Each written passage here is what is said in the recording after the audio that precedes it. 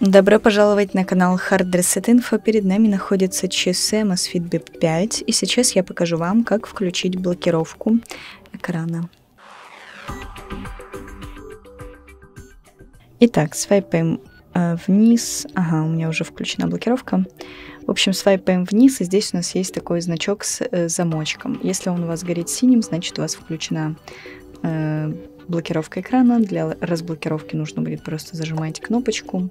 И также можно здесь отключить блокировку.